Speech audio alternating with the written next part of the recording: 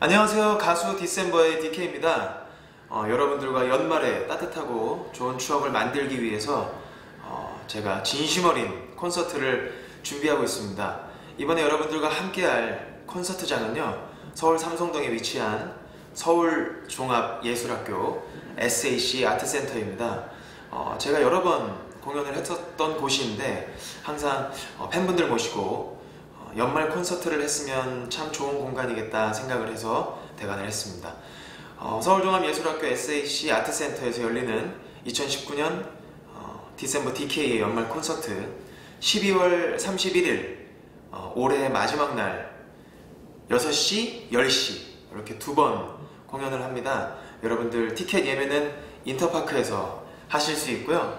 어, 쾌적한 공연장 그리고 좋은 퀄리티의 사운드 제가 많이 준비했으니까 여러분들 꼭 함께 해주셔서 어, DK의 콘서트와 함께 좋은 추억 많이 만드시길 바라겠습니다. 콘서트 날 SAC 아트센터에서 뵙도록 하겠습니다. 감사합니다.